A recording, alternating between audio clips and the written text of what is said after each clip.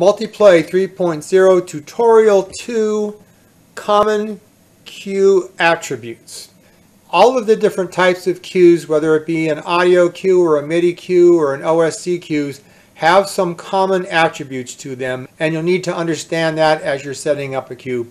So I'm going to double click on Oh My God up here and it'll open up and then you can see under common attributes uh, cue number which you could put in description you can type in a description. If you don't it usually picks up the information from the media file. For example this is track one and the title of the track is oh my god part one. Uh, script reference which is very very helpful. You can type that in for rehearsal so you can know where in the script does this particular audio cue occur. Now, as far as cue advanced, this means what happens when you actually fire a cue. And when you have a cue selected, it's going to have this green arrow up here, which means it's ready to fire. And by the way, I would always have these two boxes up here selected. They basically keep the active cue up and in the cue list. And also by selecting the grid selection up here, it allows me to click anywhere and have that cue selected to be fired. Okay, other than that, I would have to go through another menu item to bring up the cue to fire it. So let's take a look at what the command is. We're using start advance here, which means the cue will fire and do what it needs to do, and it will advance to the next cue, which means if I fire it,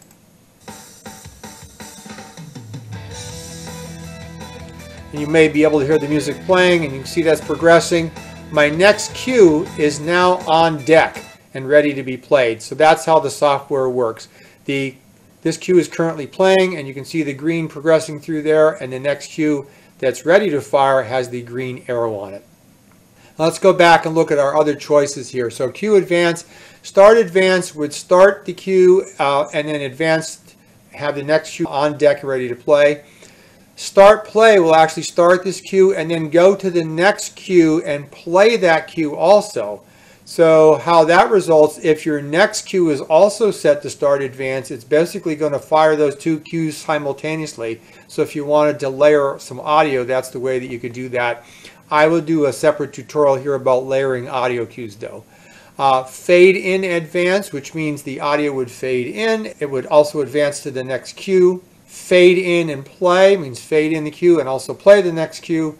Fade out and then advance. So in this case, it would advance precisely when the cue is fading out. If you have a fade out set, fade out and play. As it reaches that fade out point, it would jump to the next cue and start playing that.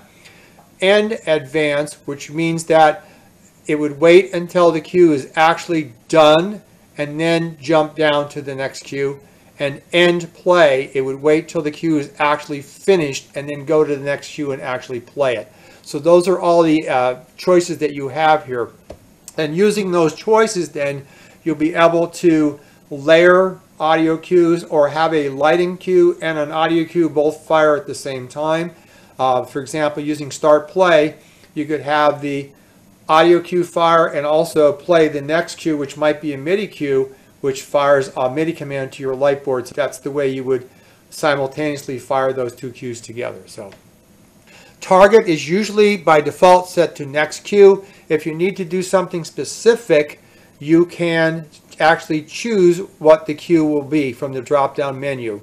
So if you needed to jump to a different cue, you can actually do that. And you could jump forward to a cue, and then you could jump backwards to a cue. So that's a possibility there too. Uh, Pre-wait, once you fired the cue, do you want it to wait before the cue actually fires? You may need this to synchronize your audio and your lighting cues. Say your MIDI file you created is slightly off and you need to have the audio just wait for a couple milliseconds before it goes so that the synchronization is right there.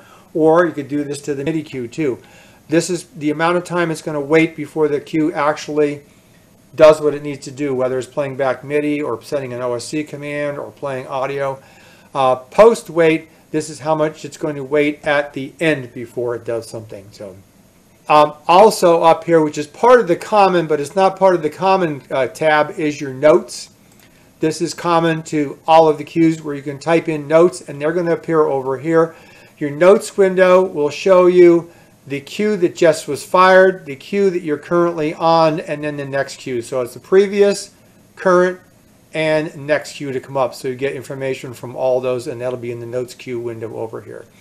And then the advanced tab over here, which is also common amongst all the cues, is you can actually set a hotkey on your keyboard that would actually fire that particular cue, even though you're not in that particular order.